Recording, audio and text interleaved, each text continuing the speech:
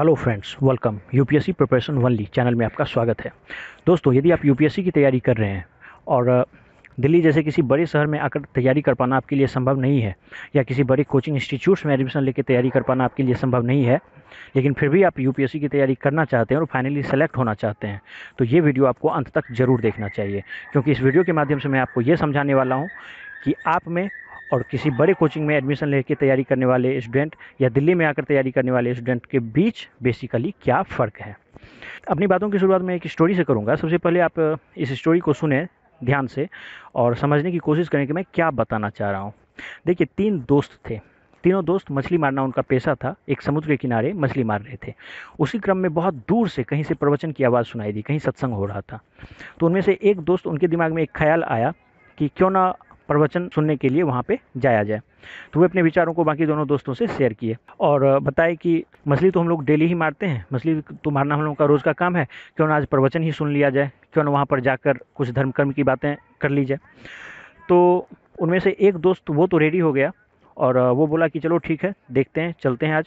लेकिन एक दोस्त रेडी नहीं हो पाया। वो बोला कि दोस्त, मेरे पास घर में कुछ खाने के लिए है नहीं। बच्चे भी सारे भूखे हैं तो मेरे को मछली मारना बहुत ज़रूरी है। एक काम करो, तुम जाओ और मैं यहीं से ध्यान से सुन लेता हूँ सारी चीज़ों को। और तुम लोग वहाँ से सुन के आओ, जो मेरे में कमी रह जाएगी वो मेरे को बता देना। तो यही हुआ कि दो दोस्त तो वहाँ पर चले गए प्रवचन सुनने और तीसरे, तीसरा जो दोस्त था वो यहीं उस, वो रुक गया और मछली मारने लगा।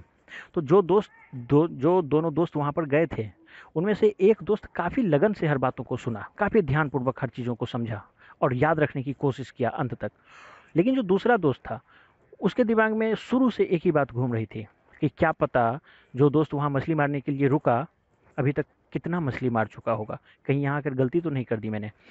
और यही सारी बातें उसके दिमाग में शुरू से लास्ट तक घूमती रही और वो कुछ भी समझ नहीं पाया सही तरीके से। लेकिन जो दोस्त यहाँ पर मछली मार रहा था, वो ध्यान से सुनने की कोशिश किया, हर चीज़ों को। जहाँ तक उसको आवाज़ आ रही थी, जहाँ तक वो समझ पा रहा था, हर चीज़ों को ध्यान से सुनने की कोशिश किया, समझने की कोशिश किया और समझा भी बहुत कुछ। तो जब वापस तीनों दोस्त आपस में मिले तो डिस्कशन होने लगा वाद विवाद होने लगा, जो क्या सब प्रवचन में हुआ। तो बाकी दो दोस्त तो काफ़ी अच्छे से इस डिस्कशन को किए और एक दूसरे से अपनी समझ के आधार पर बातों को शेयर किए। लेकिन जिसके दिमाग में ये बातें चल रही थी कि वो कितना मछली मार लिया होगा। वो पार्टिसिपेट अच्छे से नहीं कर पा रहा था, उसके दिमाग में कुछ था ही नहीं। तो जब ये मछली मारने वाला दोस्त उससे पूछा कि भाई तुम तो वहाँ पर गए थे, तुम क्यों नहीं कुछ बोल रहे हो? तो बताया कि यार, तभी से मेरे दिमाग में एक ही बातें चल रही थी कि तुम कितना यहाँ पर मछली मार लिए होगे और मैं कुछ समझ नहीं पाया। तो बाकी दोनों दोस्त अफसोस ज़ाहिर किए और फिर से उसको भी जितनी भी बातें वो दोनों सीखे थे, उसको समझा दिए और ये मामला ख़त्म हो गया। तो अब इस स्टोरी को आप खुद से लिंक कीजिए। देखिए अगर आप यूपीएससी की तैयारी कर रहे हैं, या किसी भी चीज़ की तैयारी कर रहे हैं, ज़रूरी नहीं कि यूपीएससी ही आप कर रहे हो। यदि आप कहीं भी हैं, पूरे विश्व में, आप कहीं भी रह के तैयारी कर रहे हैं, जो सबसे महत्वपूर्ण बात है वो ये कि आप कितनी मेहनत से तैयारी कर रहे हैं, कितनी लगन से तैयारी कर रहे हैं और कितना आपका ध्यान अपने काम पे है। यदि आप शरीर से बेशक दिल्ली आ जाएँ, लेकिन किसी भी वजह से आप यहाँ पर ना पढ़ पाएँ चाहे वो वजह कोई हो फैमिली मैटर हो, या यहाँ ना समझ पाना किसी बातों को हो, या किसी भी तरह की बातें हो, यहाँ आप अच्छे से नहीं पढ़ पाए तो आप नहीं समझ पाएँगे चीज़ों को। और आप घर पर ही हर चीज़ों को अच्छे से पढ़े, मेहनत किए, सही डायरेक्शन में आप आगे बढ़ते रहे तो ज़रूर कम्पीट कर जाइएगा। अब मैं आपको बताने जा रहा हूँ कि वो क्या कारण है जिसकी वजह से घर पर रहकर तैयारी कर पाना मुश्किल होता है, या आप में और दिल्ली जैसे किसी बड़े शहर में आकर तैयारी करने वाले स्टूडेंट के बीच आखिर वो कौन सा अंतर है जिसकी वजह से बड़े कोचिंग वाले या दिल्ली वाले अच्छा परफॉर्म कर पाते हैं और सेल्फ स्टडी करने वाले थोड़े से पीछे रह जाते हैं? देखिए, जहाँ तक मैं समझ पाता हूँ, इसके मुख्य रूप से पाँच कारण हैं। जो सबसे पहला कारण है, वो है मेहनत। दिल्ली में जो भी स्टूडेंट आकर तैयारी करते हैं या किसी अच्छे कोचिंग इंस्टीट्यूट्स में एडमिशन लेके तैयारी करते हैं वो यहाँ पर काफ़ी मेहनत करते हैं। हर कोई यहाँ पर आपको मेहनत करने वाला मिलेगा। बेशक उनका बैकग्राउंड जो भी रहा हो, पहले से वो हो सकता है ना उतना ध्यान से पढ़ते हों। लेकिन जो इतना बड़ा सपना लेके घर से इतनी दूर दिल्ली आया, इतना खर्च कर रहा है तो वो पढ़ता है। तो वो काफ़ी यहाँ पर मेहनत करते हैं, जिसकी वजह से सिलेक्शन का जो उनका रेशियो है, वो कुछ ज़्यादा रहता है। लेकिन सवाल ये है कि क्या आप मेहनत करने के लिए रेडी नहीं हैं? क्या आप मेहनत नहीं करना चाहते हैं? आप भी चाहते हैं मेहनत करना। तो यदि आप भी मेहनत करना शुरू कर दें, उतना ही, जितना कि कोई दिल्ली में आके कोई बड़े कोचिंग इंस्टीट्यूट में तैयारी कर रहा हो। यदि आप खुद मेहनत करने के लिए रेडी हैं तो ये अंतर मिट जाएगा। फिर ये कोई मुद्दा बनेगा ही नहीं। तो ये अंतर खत्म।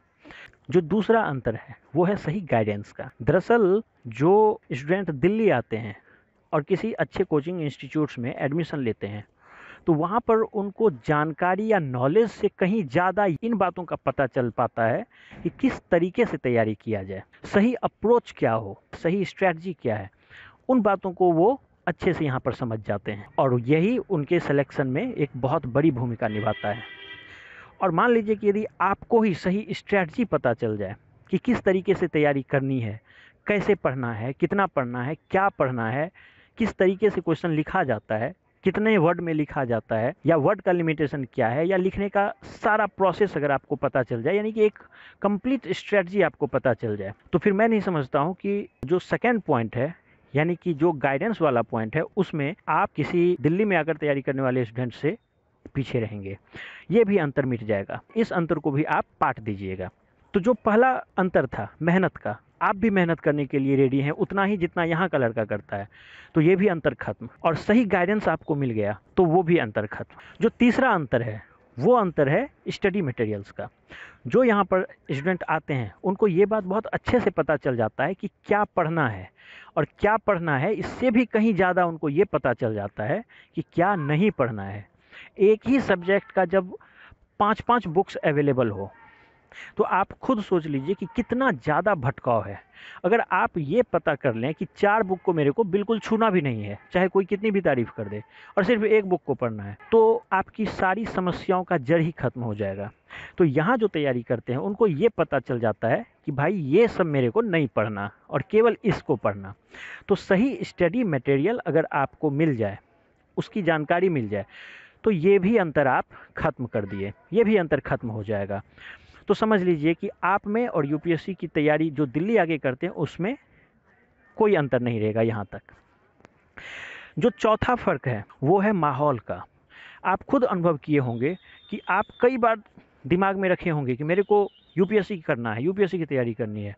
लेकिन आपके आसपास जो बैंक की तैयारी कर रहा हो, एसएससी की तैयारी कर रहा हो या किसी भी दूसरे कंपटीशन की तैयारी कर रहा हो, उसको देख के फिर आप सोचते होंगे कि यार, यूपीएससी में तो बहुत लंबा वक्त है। क्यों ना इसी को कर लेते हैं पहले? हालाँकि मेरा ये स्पष्ट मानना है, यदि आप एक जॉब सिक्योर करके इस फ़ील्ड में आते हैं तो ये बेटर है। अगर आप अर्निंग का कोई ज़रिया फिक्स कर लेते हैं तो आप निश्चिंत होकर तैयारी करेंगे। लेकिन इसके बावजूद मैं आपको ये बोल रहा हूँ कि डाइवर्जन होता है, भटकाव होता है। आप अपने टारगेट से भटक जाते हैं।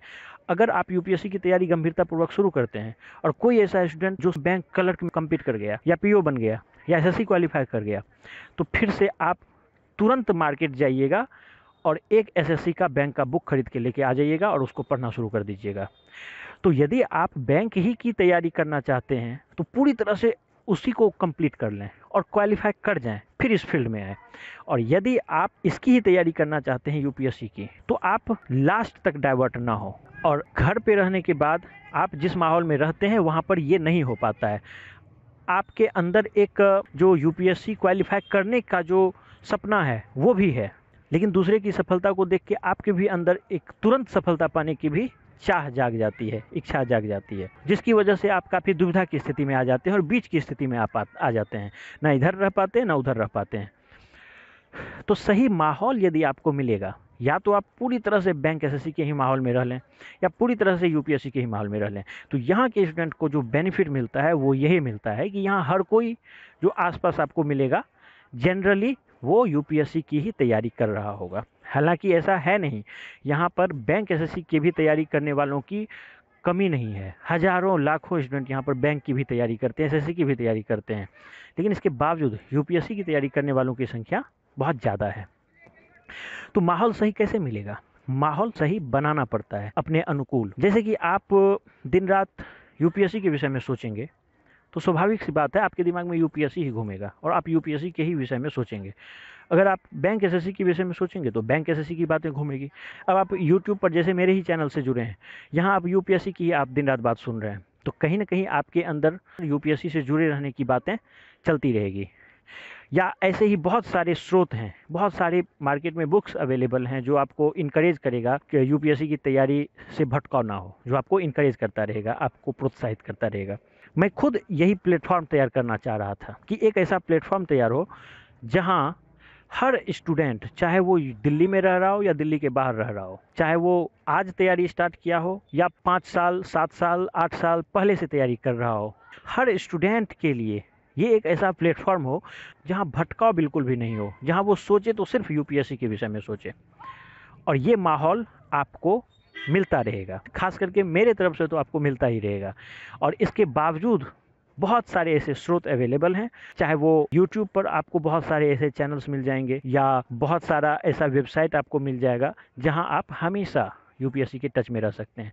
तो मैं यही कहूँगा कि माहौल बनाने से बनता है। यदि आप यूपीएससी की तैयारी करने वाले कुछ स्टूडेंट्स के आसपास रहें दिन रात उन्हीं के संपर्क में रहें तो ये माहौल खुद ब खुद बन जाएगा।